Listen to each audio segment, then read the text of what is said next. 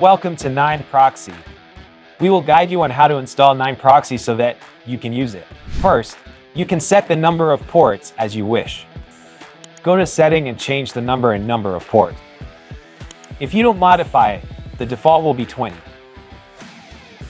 Next, exit the settings and go to the proxy list section.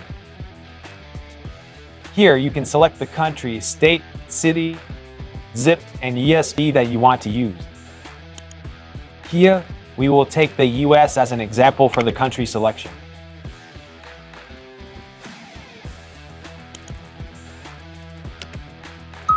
After that, select any proxy you want.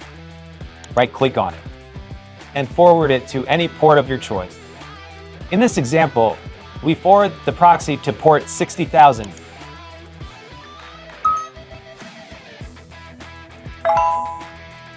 Finally, Go to the Forwarding List tab. Copy the proxy you've just forwarded and start using it.